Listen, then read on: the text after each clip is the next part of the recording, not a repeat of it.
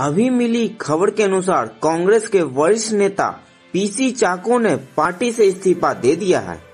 बता दें कि पीसी चाको ने कांग्रेस के अंतरिम अध्यक्ष सोनिया गांधी को अपना इस्तीफा भेजा है। पीसी चाको दिल्ली कांग्रेस के प्रभारी रह चुके हैं। हालाँकि 2020 में दिल्ली विधानसभा चुनाव में पार्टी को जीत नहीं दिला पाने की वजह से उन्होंने प्रभारी पद से इस्तीफा दे दिया था। केरल चुनाव से पहले पीसी चाको का कांग्रेस से इस्तीफा देना कांग्रेस के लिए एक बड़ा झटका है। कौन है पीसी चाको? आइए जानते हैं। पीसी चाको का जन्म 29 सितंबर 1946 को केरल के कांचिरापल्ली शहर में हुआ है। उनकी गिनती कांग्रेस के वरिष्ठ नेताओं में होती है। वे केरल की त्रिशूल लोकसभा सीट से पूर्व सांसद रह चुके हैं।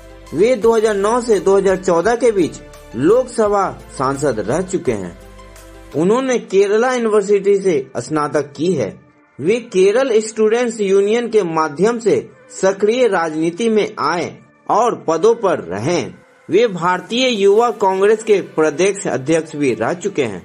1980 में वे केरल विधानसभा में पिरावन निर्वाचन क्षेत्र से चुने गए और उद्योग मंत्री भी बनाए गए वहीं उन्नीस से 2009 तक 2G स्पेक्ट्रम और दूर संचार लाइसेंस देने के कथित घोटाले की जाँच करने वाली संयुक्त संसदीय समिति के अध्यक्ष भी रह चुके हैं वे अखिल भारतीय कांग्रेस समिति के आधिकारिक प्रवक्ता भी हैं। आपको बता दें कि बीजेपी ने चाको पर 2G मामले पर जेपीसी रिपोर्ट में बदलाव करने और कांग्रेस सरकार द्वारा भ्रष्टाचार को कवर करने के लिए रिपोर्ट को स्टीमर करने का आरोप लगाया है। भाजपा ने लोकसभा अध्यक्ष मीरा कुमार द्वारा रिपोर्ट के विरोध में भाजपा नेताओं को अनुमति देने से इनकार करने पर भी इसी तरह की निराशा व्यक्त की थी।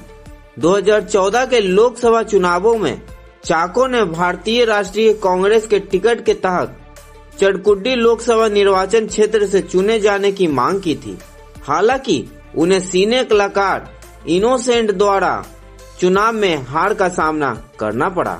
आपका उनके इस्तीफे पे क्या कहना है? कमेंट ज़रूर करें।